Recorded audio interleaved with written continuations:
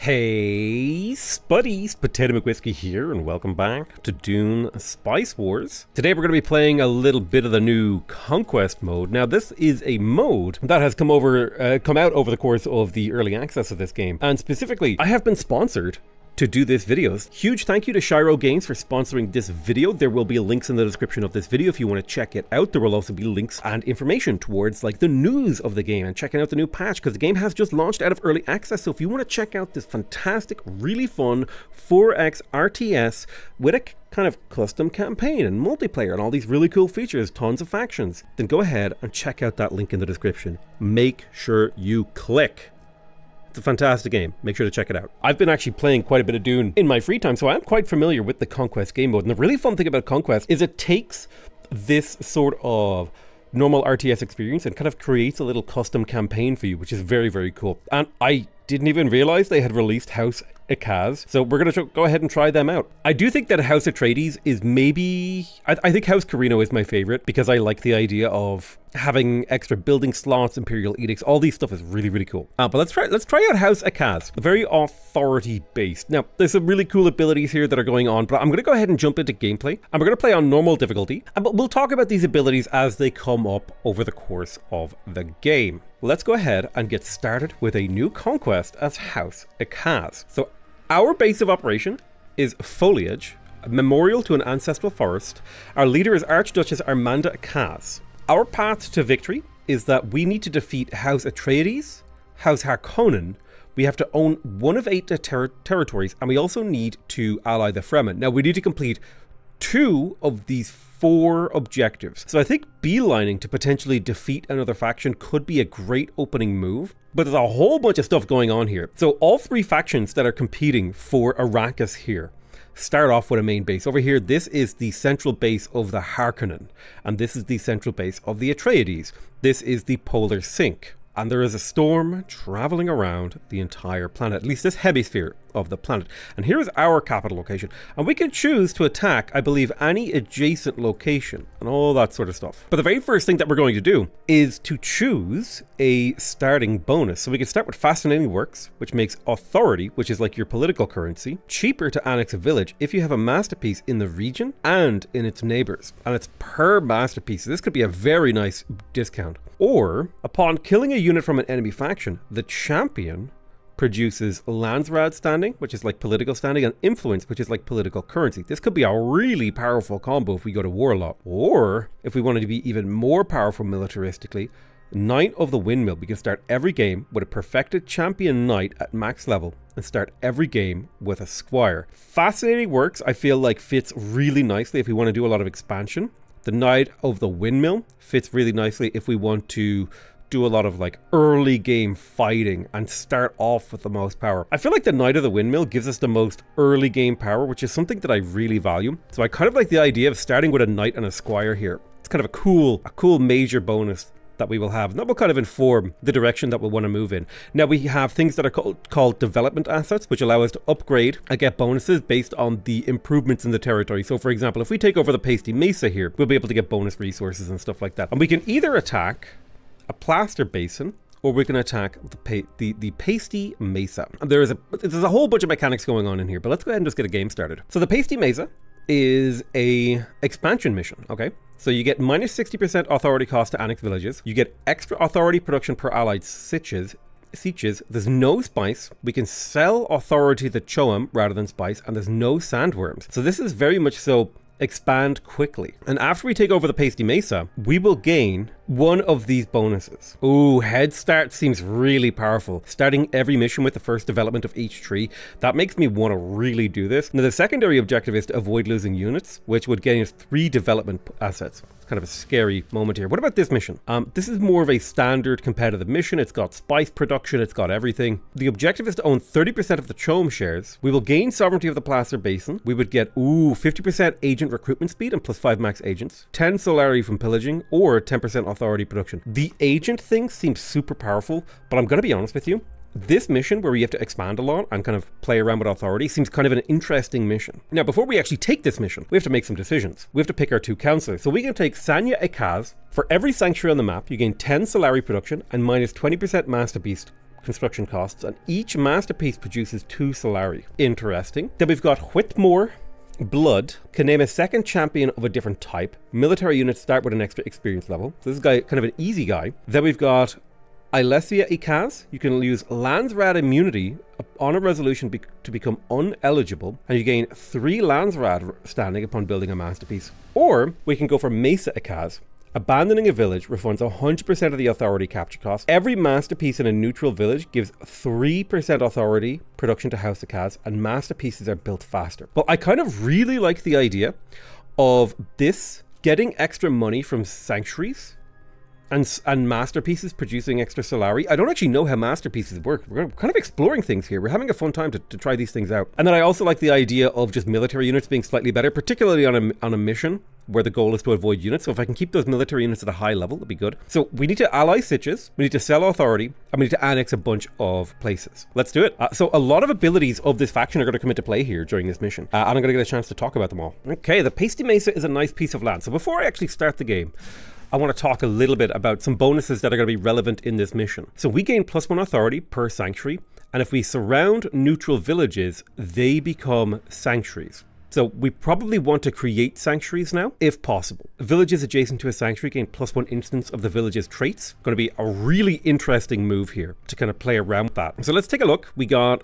started with Esquire, we started with a knight, and now this is a maximum rank knight, so he's super high level, super high health, good armor, uh, decent supply, minus 20, ooh, minus 20% damage per other Ecazi non-mechanical unit. Cannot be executed if there's one Ecazi non-mechanical unit. So this squire, actually, not only does he lower the armor of his opponents, making this knight do more damage, he actually gives this knight 20% more more damage resistance, which is really, really powerful. Um, this is our main base, and this is our Ornithopter. This is our Scout. We can put it on auto recon. I think it's good to recon yourself in the early game. I do have the game paused right now. When you're playing multiplayer, you won't be able to pause it. There's a whole lot of UI that we got to talk about and a whole bunch of stuff going on here. But let me tell you, we're going to go ahead and get started doing we're going to do a quick scan of the local area to see if we can't get a lay of the land. I think that seems like a pretty reasonable thing to do. And I'm actually going to go ahead and recruit myself a second ornithopter. They are fairly expensive. But I do think that that's a worthwhile thing to do because right now in the early game we have nothing but positive income. So I'm going to go ahead and scout this zone over here. I'm going to put this guy on auto recon. There is no spice on this map. We can only sell authority to Choam. And we are selling a little bit of authority to Choam. I'm going to say sell a little less authority. I would, or sell, yeah, I want to I want to stockpile some Choam. We don't need a huge amount of money right now. I also think I'm going to grab myself a musketeer. Uh, it has an upkeep of 8 Solari, but it does have the thunder ability, which makes the target suffer 10% extra damage. And this will make my knight, the knight that I have right here, just be super, super, super powerful. Um, we'll probably use these guys to take over some villages when the time comes. So we'll just let this guy auto-scout. He'll do what he has to do. So we found the town of Grimda. Should be very cheap for us to annex. So I'm going to go ahead and start sending my troops over there to conquer that anyway. And they will take a little bit of time to walk. But when they get there, be quite powerful. Let's grab this musketeer and send them over there as well. The, the game is incredibly atmospheric. I'm a big fan of how the game plays. Oh, we've got a cache over here. So we can bargain with them. We can assign an agent to this and gain influence, or we can send our troops over there to explore it, and we will gain a random accessible development in statecraft. Well, I tell you what, I'm going to send my squire over there to investigate that. Then, when my thunderer is here, we will attack the city of Grimda and uh, our musketmen will help out. So my knight should be able to tank this very, very easily. So while troops are outside your borders, they will lose supplies, and I think it depends on the exact environment they're in, the sort of you know, if there's a storm, if there's anything like that. I'm going to take my second Ornithopter. I'm going to put them on auto recon as well. I think it's usually good to get two, so you can explore around a little bit and find find stuff. Um, but this is how you expand. Typically, when when you're playing the some of the other houses, there are other ways you can expand. But basically, you just you walk in, you conquer it, uh, now we do have the option to pillage this sometimes, but I think we're going to go ahead and annex it. It'll take 0.3 of a day, and we do have troops over here annexing, uh, or rather picking up this statecraft development. And we did just unlock statecraft, so this will boost us in intelligence network by four days, which will increase the agent recruitment time by 100%. And we'll also get Land Landsraad standing every time we finish a council. Don't worry about if you don't understand some of that yet.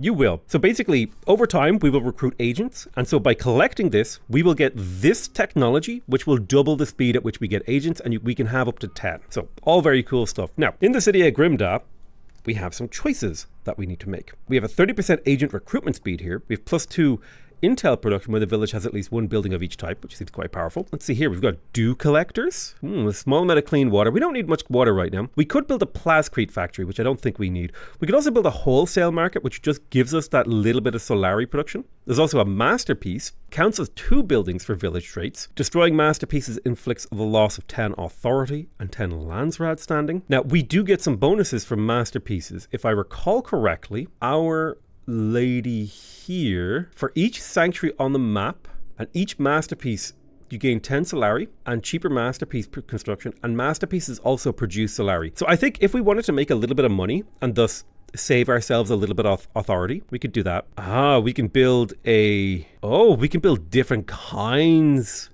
of masterpieces. Now that's super interesting. We could also build a research hub. We need to be careful about how expensive the things are that we do, like plastic factories are pretty expensive. I think a wholesale market is a pretty cheap thing to just grab early. So we are going to go ahead and grab that wholesale market. We'll just pop that down there. And we're going to go ahead and recruit just a pair of militia. Now we are losing some manpower, so we'll have to work on that. We will probably build a manpower building to cover that issue. But we're going to go ahead over to Let's see. Let's have a look at Adfear. What, what traits do you have? Statecraft building resource production, Plascrete factory limit. Well, I think this looks like a good enough spot to turn into a um, sanctuary. So I'm going to go ahead and head back to the capital so that we can go ahead and attack Kafka.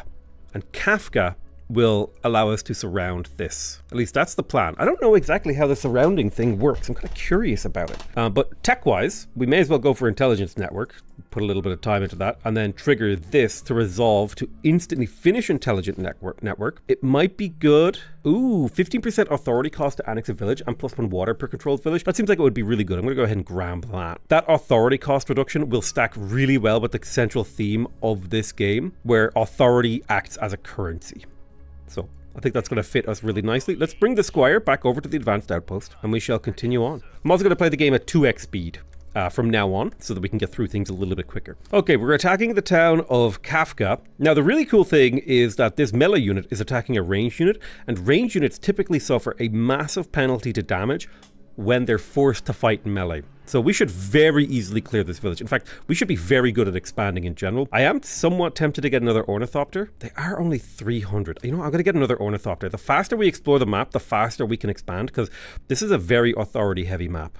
So in theory, we can pillage here. However, I think it's better if we annex because it's so cheap to annex on this particular map. We've investigated the settled high reg, and we're able to grab ourselves 57 intel. That will be quite useful once we actually finish producing our first spy, which we are working on right now. Aha, unassigned agent. So there's quite a few different places we can assign our agent. We can assign them to other factions to learn about them. So we can assign them to the Atreides, we can assign them to the Harkonnen, we can assign them to the smugglers, and based on how long they spend here and how many agents I have assigned, we will get a certain amount of information. So, right, we would get at level one in intel, we would get uh, three intel per agent plus the unreconned borders of this faction, the production of reconned villages, and the ability to do infiltration cells, which will allow us to increase our infiltration of their faction. Then there is the category of counterintelligence, which is the ability to put agents sort of defending my faction from enemy agents that are spying on me. So if I put an agent on counterintelligence, they have a chance to spot enemy spies,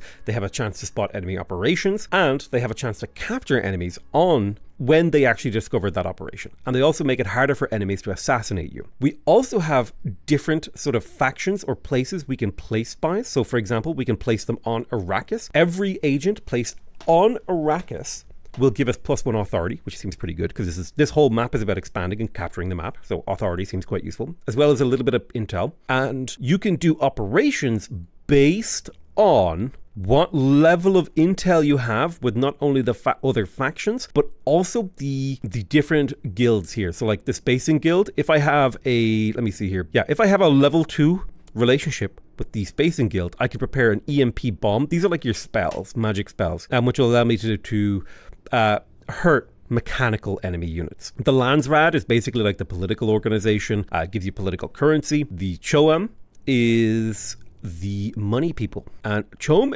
is one of those good ones to start with. But I, I often like putting my first agent into Arrakis, particularly on an expansion mission like this, where you're doing a lot of like expanding into villages, exploration is important, all that sort of stuff. Uh, technology wise, we have finished local dialect studies, which will make it cheaper to annex villages, and we get a little bit of passive water per annexed village. Uh, 0.25 knowledge per controlled villages also seems quite good, and we could also get research treaties. This would allow us to scale up our capability of researching based on our expansion, which really kind of suits me. So I'm going to go for Lay of the Land because this is such an expansion heavy mission. That 0.2 knowledge per controlled village will help out quite a lot because right now we're pulling in about 5 knowledge and this would give me 0.5 knowledge after I've captured this place. So that'd be like a 10% knowledge increase. We've captured a new village, Kafka, I am going to eventually recruit more stuff in here. I do think I need to get a manpower building over here in Grimda. So I'm going to grab myself a recruitment office. Now this only produces three manpower. We're using a lot on all of these units. Oh, it's only because our units were regenerating. We're actually pretty good on manpower. So let's Let's play it slower than that. Let's have a look at what Zysan has. Hmm? Solari production. 100% of water production as Solari. I think I might turn this into a sanctuary. So I'm going to go ahead and try to capture the stuff around it. So Pelnet is going to be next for me. It's only 28 authorities. Let's get going to Pelnet. And then in this city, I'm going to go ahead and just drop a single militia, just so it's not completely undefended. We have another ornithopter. I'm going to put him onto auto recon. And I also see over here there's a lost box. I'm going to send the squire to go acquire that lost box. Although, actually, we're going up against three troops this time, so I'm going to get the Squire to help out with this fight, because he does lower the armor of our opponents. And now that we've killed the main melee unit, I will send the Squire to go investigate that. The other really nice thing about having Arrakis agents is a lot of these things on the map, they have an option, like you could do a crash shuttle and gain a bit of money, or you can send your agents to it, and after a certain amount of days, you get a boost to your technology. Now, I like the idea of getting technology boosts, particularly because we could get survival training, right? Just all these little things they add up together and are things that you need to be thinking about. These little subtleties. The one downside of playing at a high speed is that the the sound effects of battle are turned off. All right, let's go ahead and capture another village. Seems quite good to me. And I think it might be good to add another musketeer here to my group just to add a little bit more DPS. We've investigated this point of interest. Let's go ahead and pick up that little bit of money. I'm going to grab myself. Uh, do I want another wholesale market? I mean, this place produces Solari per statecraft building. So if I built a masterpiece here, this would count as two buildings for this village trait which would mean it would be six Solari. So that would be six Solari. So let's build that masterpiece, and then maybe I could get a couple of research hubs in here and do some fun stuff. Rightio, we captured a new village, so the natural thing to do is to get your militia into it. Now, this village in particular, I am going to pop down. I am going to pop down a recruitment office to get a little bit more manpower, because we're starting to use our manpower. Not a huge amount, but it is happening. We are using up some of that manpower. Looks like we've got a raid detected over here. I'm going to go ahead and send a Thunder Musketeer to defend Grimda. I don't think my other troops are going to get there in time, so I'll just keep them expanding. Uh, let's finally go take on O Alalon. So we're under attack. It looks like it's just a single raider, so we should be able to handle this with the militia that we've recruited. This is why you recruit militia, but this also tells me that there's a siege over here, and we do want to make friends with sieges because there's a special mission modifier where you get bonuses for allying siege.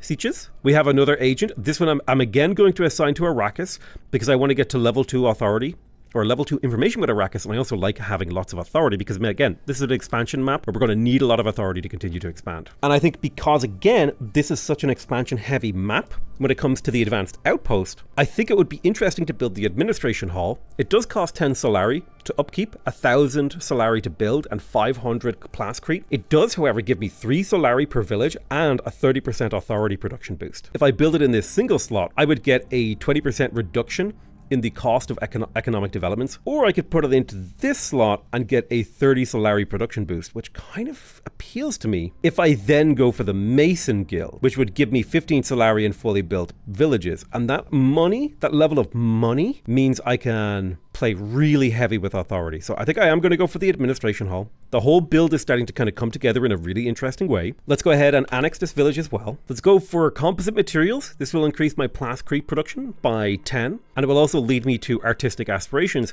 which will give me 100 Solari every time I build a masterpiece, as well as a 50% cost reduction to add building slots and access to that Mason Guild building I was just talking about. So this is the direction we want to go, I think. It's the direction that feels right. Something that I'm missing is a plascrete factory, so I do need to increase my plascrete production. That will start to eat into my Solari production. I think Grimda over here is a good place to build a plascrete factory. It does use up two water, and cost 20 Solari, but I think it's worth doing. In the village of O-Alon, I absolutely think it's time that I built an airfield. This airfield will effectively make my empire smaller, allowing me to move troops from one end of my empire to the other more easily. And I'm going to pop it right here so that it covers both the city of Pelnet and the city of O-Alon. Then I'll go ahead and recruit three militia to guard the city. I'm going for the cheapest recruitable militia. Like I could go for range militia or demolition militia or heavy militia, but if I just fill it with regular militia, I think it'll be fine. Now I don't want to capture the city of Zei San, but run in over here I definitely want to grab. So there's going to be quite a bit of walking through things. Although in this particular mission, it just turns out there's no sandworm. It's kind of an interesting thing. It's finally time for a Landsraad Council vote. So on a regular cooldown, uh, a political council is called and you have to you know vote on a variety of things. And based on whether or not you've been honorable or dishonorable you're going to have more or less votes. Based on how much influence you're generating you're going to have more or less votes. And you're never really ever going to have enough resources to completely control everything because there's also an independent minor house vote that kind of represents a little bit of RNG in the game. So somehow Shiro Games made world councils in a 4X game an RTS 4X game. Kind of somewhat interesting. Infrastructure control feels quite good. That 50% building slot cost reduction is quite good. However, if we were to push for a scientific congress, we would not only get a military development speed completion of 50%, we would also get 10 Landsraad standing, which would allow us to build up to being in high standing with the Landsraad. So I'm going to go ahead and put a single vote in favor of this. I don't care if it passes, but I I'm not invested in the outcome, but I would like it to pass. That's how I'll phrase that. However, I really want to have infrastructure control, so I'm going to put all my votes. So those are my free votes, okay? This 90 and 10 will cost me nothing, and that's because I have 100 Landsraad votes. To vote any more votes, I'll have to spend influence. So you can see the color changes to blue effectively saying that I'm now spending a real resource to win this. I'm going to put 100 votes into this to win, and then I'll put an extra 20 in here to put this up to 30 to win. And then I would like it if I won this authority production thing, but I'm not going to bother voting for this. I think maybe more because we already have really good authority right now. So maybe I would rather vote for these two and uh, sort of play for the long game. That's my goal. So five days from now, we'll know the outcome of that vote. And over the course of this, you can kind of change your votes. You can pick different outcomes. We're going to go ahead and grab that military resolution which will get us almost finished survival training. So something you need to know about how tech works in the game, the more tech you have, like the more tech you have researched, the more expensive your tech becomes. So you do have to kind of pick and choose a little bit carefully. That's an important thing to do. We are shredding this militia. It is it is painful. Um, these poor militia are getting absolutely obliterated. So when we annex this, this should become a sanctuary based on the rules of the game as far as I understand them. But the awesome thing is we're going to get access to some rare elements and there's really good wind strength in here too. We also have a settled high reg. We could get a bunch of intel by investigating this. Ooh, revealing a siege, that seems really good. I'm going to reveal a siege because that'll give me good resources. And where's my other musketeer? There you are. So I have a musketeer kind of wandering around protecting the land, doing what he should do. We have completed composite materials, but this will slightly increase our plascrete production so we have enough money to keep, you know, producing. We finished the plascrete factory over here in Grimda, which will give us another 10 plascrete production per day. And now we now we need to start buying building slots to make that work. But my hope is that I will win the infrastructure treaty here and get a 50% discount on that. So if I do decide to do that, it'll be fine. Aha, okay, so if we pop down here, you can see Zei San has become a sanctuary which can no longer be attacked by other players. I gain plus one authority and all of the villages that are adjacent gain plus one instance of their village's traits. So if I pop over here, you can see the scientists um, of Kafka are producing 40% more because this is getting instanced twice. So if I were to build a research hub here, we would get 1.4 knowledge instead of 1, when it, normally this village would make 1.2. Uh, and then add on top of that that we're getting extra Solari production per statecraft building. Oh, super, super good. So I think we could actually just throw down three research hubs here, which kind of appeals to me in like an interesting way that this is just like such a good tech spot. So that's pushing in that direction. And now I'm making enough inf uh, authority that I'm going to go ahead and dip down how much authority I'm stockpiling and sell just a little bit more to keep my money income high. That won't be fully necessary once we have running up and running. Kind of a funny statement right there. We have also hit 5,000 hegemony, which is like your score. And that means we can turn a single village into a garden resort. Now, garden resorts are interesting. We'll talk about those once we have a moment to talk about them. But we can also name one of our units as a champion, which raises, uh, which gives us hegemony when they kill other factions. So if I pop down here and I look at this knight right here, in theory, oh, he's already a champion. Okay, so he gets plus 200 health, plus 2 power, plus 2 armor, cannot be executed, and every time he kills a unit, he gains 100 hegemony until this champion dies. So he basically is like a walking pinata of score. Uh, we can also turn this uh, Squire into a champion if we really want to. I don't think I don't think we want to. Let's make sure we do the basics right. Recruit militia to fill this out. That's for sure. Then we're going to come in here and I really want to build. There's a building here. This, the processing plant. So we're going to have to wait for a little bit of plascrete. This will get me 20 Solari production, so I'll place that. However, if I get one production building of each type, this village will get a 20% resource production bonus, but because it's adjacent to Zaysan, it will get that twice because it's a 40% production bonus. And dun, dun, dun, I could turn this into a garden resort, which will give you plus 2 knowledge production per adjacent sanctuary and plus 0.5 influence production per masterpiece in this region and its neighbors cannot be abandoned, and attacking this village costs 100 Landsraad standing and authority. So I like the idea of creating another garden village, and since I had planned to turn Adfear into a sanctuary, I'm kind of tempted to turn Kafka into a I'm kind of tempted to turn Kafka into a garden resort, and I will do that. Now, this is going to cost me a little bit of water, but that's fine. We'll, we'll, we'll make our way through that. Let's go ahead and send our troops over to Sinmur. We would like to capture Sinmur, so we'll start moving over here. But you can see the garden resort. Look at the plants appearing. There's all these beautiful things. We can still build in here. It produces knowledge. It produces influence. We're just getting all those beautiful resources. You know what? Let's, let's just pump whatever votes we have left into the Imperial propaganda. Let's see if we can get that. And I think it would be good for me to recruit another squire or two. Ooh, no, they cost a lot of manpower. Let me cancel that.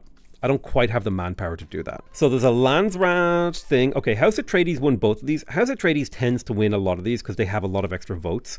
Um, they got lucky with the Minor House votes too. Yeah, they got really lucky with the minor house votes. But we did manage to pass Scientific Congress and gain a little bit of Landsraad standing. So House Harkonnen tends to be the faction that does the best in this sector. So you can usually only beat them in one place unless you've really dedicated resources towards influence production. So just do keep that in mind, that in order to fight them, you're going to need a lot of influence because they tend to do really well there. So we're definitely going to be going into conflict with the with the smugglers here because they're capturing a village that we want to control. And we're going to go ahead and capture Sinmur. I don't mind being in conflict with these guys. I'm totally cool with that. Does not bother me, but I do want to capture Sinmur, particularly because there is a plascrete mineral here, which doubles the productivity of a plascrete factory, which would mean I could delete this plascrete factory and get one that's way more efficient over here. Uh, we've investigated the point of interest here. We can re reveal a siege, and there is a siege here in Tadrek. So, my next agent is going to be placed on this siege. Oh no, I can't do that yet. Trade four water for one manpower production. I'm going to give this siege some water so that we can slowly build up our relationship level. And then eventually I want to put an agent in here. Until then, I'm going to go ahead and put an agent on Choam. No, let me think about that. I'm a little bit light on influence production, so the Landsraad could help. It would also be good to get money or manpower. Manpower would be really helpful, so maybe I'll play with the Spacing Guild. I have a decent amount of intel production. So yeah, eventually we want to make allies with this guy. And since we just also finished development research, we could go for native artists, which would allow us to gain relation with sieges faster by building masterpieces beside the sieges. So I kind of like that. I do need to know what technology do I need to research to get access to the, um, what's it called? Let me see. Access to the wind traps. So it requires filtration systems, which is this right here. Uh, 0.2 spice production per positive water unlocks the wind trap village building. So I do want filtration systems um, because I'm low on water right now. So that would be really helpful. And I also really want native artists. And I'm quite happy that my tech rate is going to be jumping up over time here particularly because Kafka is a sacred garden. And speaking of which, I would like to build another research hub, but I'm a little bit light on Plascrete right now. But we'll, we'll, we'll get through all that. We'll get through all that. Uh, we're going to go ahead and annex this village. Perfect. And so the sort of early game expansion phase is starting to settle down, and now we're beginning to move into the later game sort of attacking phase where we'll start beating up uh, upon our opponents and starting actually coming into conflict with people. So a raid has been spawned here towards Grimda. It looks like it's a single raider, so we shouldn't have a problem dealing with that no matter where he goes. The Choam market is now open, we can, in theory, buy shares from CHOAM. There are reasons to do this. So, for example, if we get to 10%, we can recruit mercenaries. We also get two influence. If we get up to 30% CHOAM, we get uh, 20% military unit power and 100% maximum influence. This seems like it's quite good. So I'm going to go ahead and start buying some shares. I'm not going to go hard, like too hard on the CHOAM shares but just every now and again, when I have spare money, I'm going to pop in there and grab some because you could always sell them off as well. We are low on water. I understand that. CHOAM market is open. We control this new village.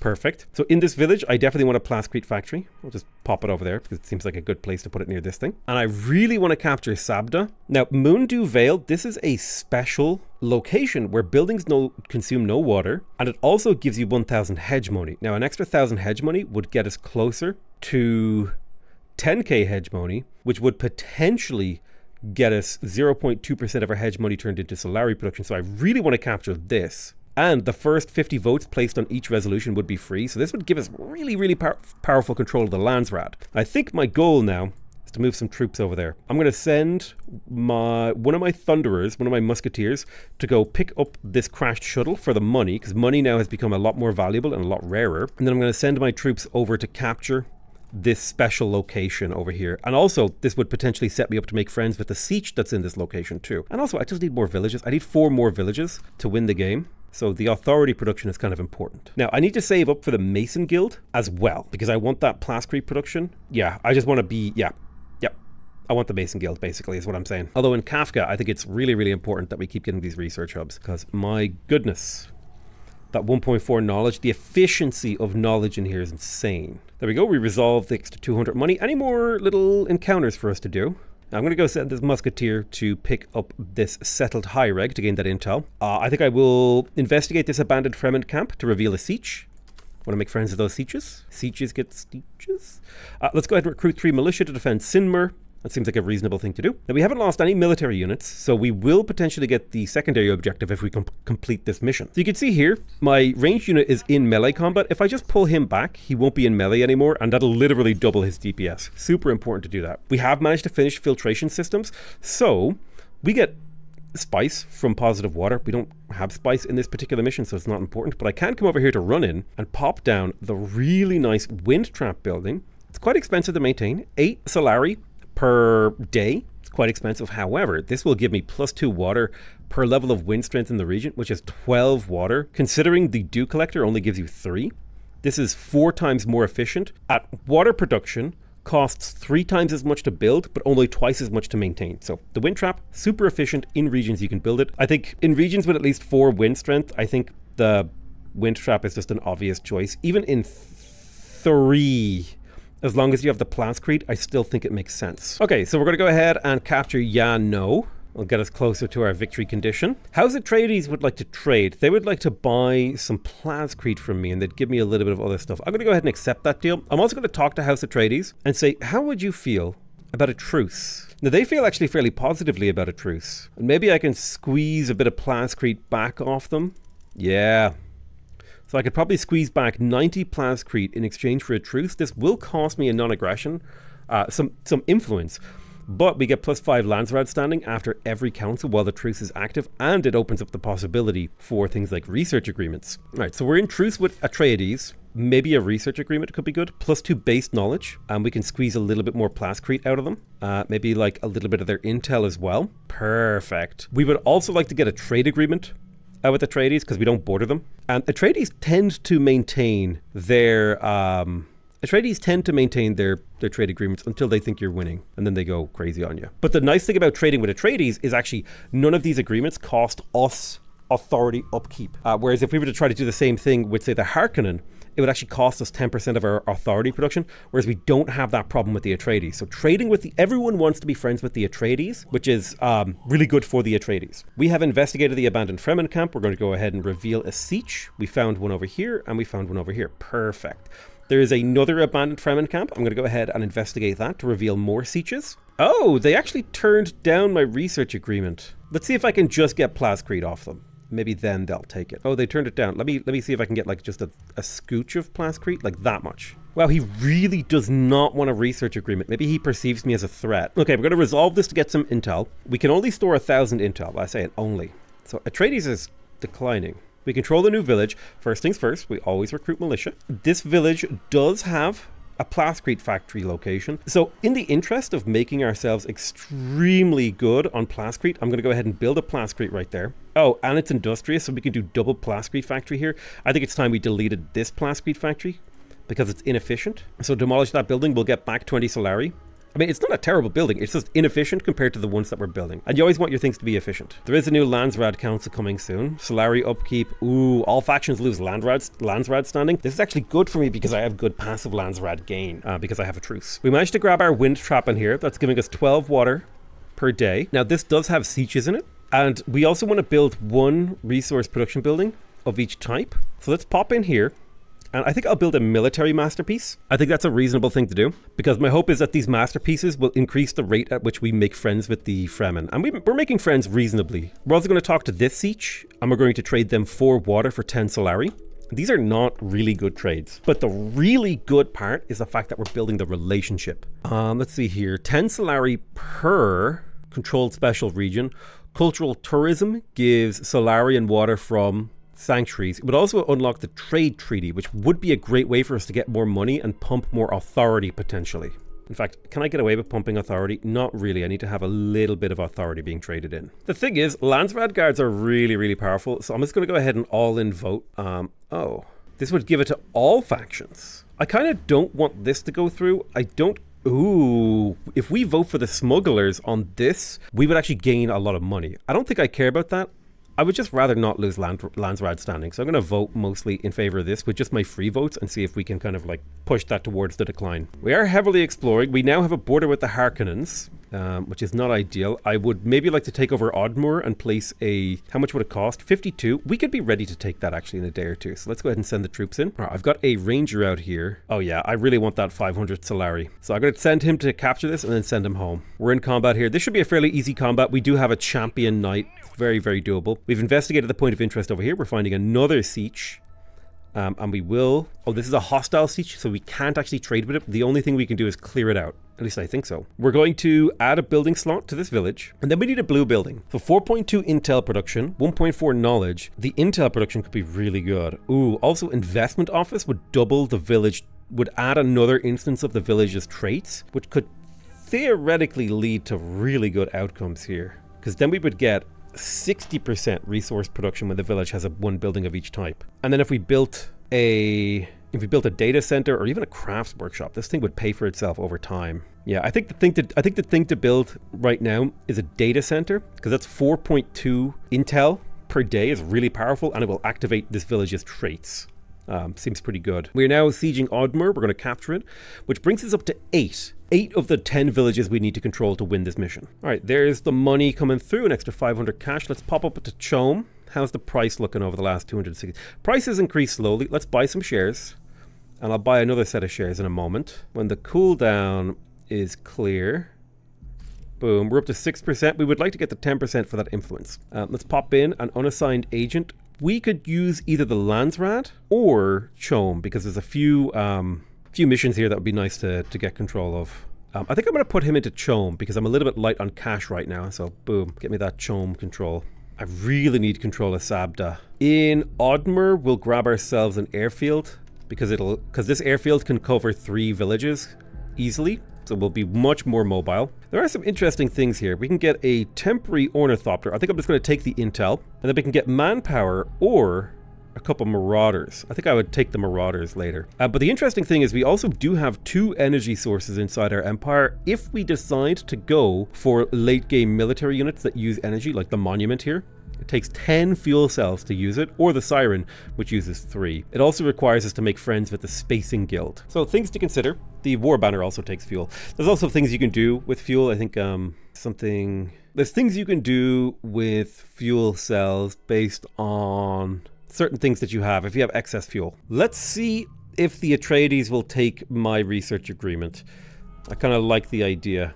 They did, they accepted it. So now we get a plus two base knowledge, plus a 20% bonus to research speed for developments already developed by the other faction. All right, into Kafka. I think we're going to save Plascrete to build the Mason Guild. And the Landsraad results are in. Looks like the witnesses pass, so everyone gets Landsraad guards. 50% Solari upkeep reduction on House Atreides, and nobody loses Landsraad standing. I'm going to send these Landsraad guys down to Arano. This sort of a direction. If we could grab Arano, that would be amazing.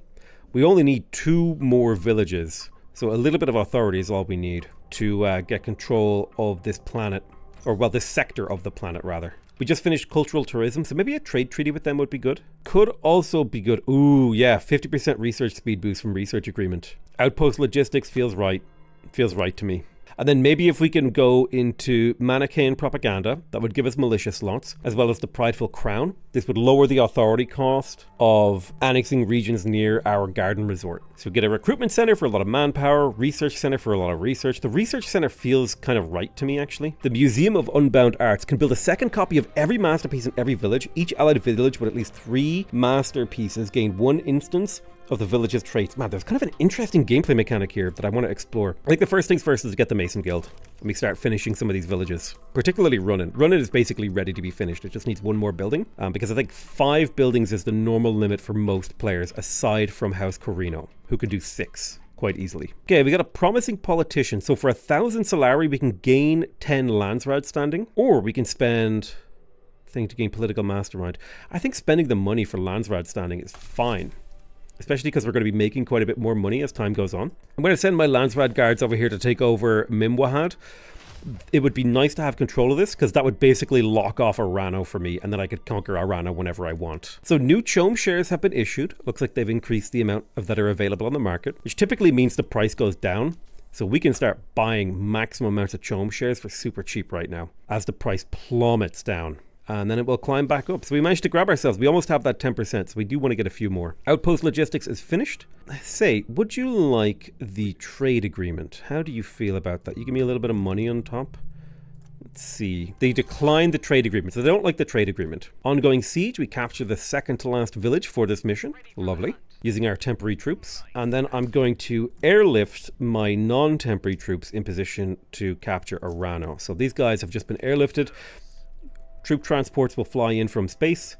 They will get picked up. These troops are completely unavailable until they land. I cannot change their order. So moving troops around long distances in Dune Spice Wars is actually quite a strategic decision. You have to be very careful. Let's go ahead and pop down one, two, three new militias in this new town. Um, this is a Plascrete location too. Ooh, Landsraad standing here if we've saved this crashed spaceship. Let's send a Landsraad guard down there to do that. And uh, we'll retrieve the flight records of this crashed ornithopter to gain intel. So once we have 56 authority, that's a wrap. Um, we did escape Manichaean propaganda. Nice. We're working on Prideful Crown as well. Uh, the, the, the village of Runnin is going to be upgraded now to level 5, and we want to build probably a masterwork in here to make friends with the Sietch. Dew Collector seems pointless. We could also go for the maintenance office. The problem is, I guess it would maintain this place. I don't know, what's the upkeep like here? I haven't even, I haven't even really done much building, honestly. It would be nice to build a masterpiece though. Yeah, let's build the investment office. Let's keep that money flowing. A lot of nice resources in here. We may as well keep it going. A new council is coming. I don't think the council matters. I think we've managed to passively win this game. As long as nobody invades me and takes me out, I think we have managed to very quickly and very easily conquer this uh, zone. We'll grab that 11 Landsraad rating. Landsraad rating is quite a rare and difficult commodity to acquire, so it's always good to grab it. All right, let's go for Arano. It's time to conquer them. We're just about ready. Um, I will prepare a supply drop and a scavenger team. They'll take a little bit of time to prepare, but they do allow me to restore the health and capabilities of my troops. I want this ranger to fall back because he was taking a little bit too much damage. A little bit of micro goes a long way in Dune Spice Wars. It's kind of like part of the reason I love this game so much. Is that like the actual? I'm like, remember, I'm playing at 2x speed. So if I was playing on normal speed, you've plenty of time to move your troops around. You could go look at this. I can be like, okay, I want to make this decision. Then I can pop back and be like, okay, what's going on here? All right, we've conquered that village. All right, I'll go ahead and do the annexation. That'll take a few days. Then I can pop up here. I'll buy some CHOAM shares. Now I've got the 10% thing that gives me plus two influence. I can also recruit mercenaries. Mercenaries are fairly expensive. However, they're temporary. They disband after 20 days and they never recover health. Can also recruit more militia. The Landsraad Council vote is activated, but you can take your time because like time normally flows really slowly. Like none of these things are urgent in the sense that like you don't have to get to them immediately. Uh, let's grab valuable trinkets so we get more resources from trading with sietches. I haven't even allied a sietch, but I am about to win the game because I'm about to have 10 10 villages. Uh, and keep in mind, we're playing on medium difficulty. I'm a relatively experienced player, talking you through playing a new faction. So I wanted to play on medium because I feel like that's a pretty good, pretty good level to play at. And there you go, boom, we won the mission. Uh, and this is mission one of our overarching campaign. So if we check out the summary now, you can see it took me about 30 minutes of game time. We had the highest hegemony, we had the most CHOAM shares, we killed the most units, we had pretty damn good development. I'm surprised by that considering I thought I was relatively ahead on knowledge, but I guess I wasn't. I guess I was just on pace with the AI. In terms of economy, I was pretty good with Sol Solari. I was kind of middle of the pack for Solari stocks. I definitely was ahead on CHOAM shares, and I was fairly ahead on territory, but I built my strategy around capturing territory. I had the most Landsraad standing. I had reasonable influence production. I had reasonable intel production. And because I had such a powerful early game military, I never really needed to build military, and no one ever had enough military to kind of take me out because I had, you know, defender's advantage in that. So starting off with military units actually gives you such a huge advantage, I feel, that it was super worth it for me to take that. Um, yeah, this was a sponsored video. I would like to finish this campaign. I would actually like to do like another mission or two. So we win. Now we gain sovereignty over the Pasty Mesa. We gain three development assets. Pressure regresses by 5%. Now our Fremen relationship did not go up because we did not like really work the sietches at all, but we now we get to choose a bonus. So 10% intel production or 10% Solari from. I think starting every mission with the first development of each tree, that's insanely powerful. So I think I just take that. Super, super powerful ability is going to make me do a lot better in all these future missions.